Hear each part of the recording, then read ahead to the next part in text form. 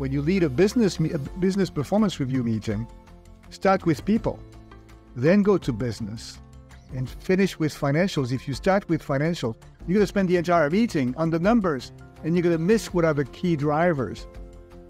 This thing about being the smartest person in the room and adding too much value, eh, you know, not helpful. So your role as a leader is much more to create an environment in which others can be their best. As leaders, we need to be confident to be able to say, gee, that's unprecedented. I don't have the answer, but let's figure it out together. So it's a combination of confidence, but also humility and vulnerability. Thanks so much for joining us. Please be sure to subscribe if you're not already and click on the link below for the full interview.